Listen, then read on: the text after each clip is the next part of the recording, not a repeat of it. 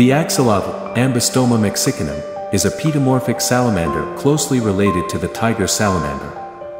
It is unusual among amphibians in that it reaches adulthood without undergoing metamorphosis. Instead of taking to the land, adults remain aquatic and gilled. The species was originally found in several lakes underlying what is now Mexico City, such as Lake Xochimilco and Lake Chalco. These lakes were drained by Spanish settlers after the conquest of the Aztec Empire, leading to the destruction of much of the axolotl's natural habitat.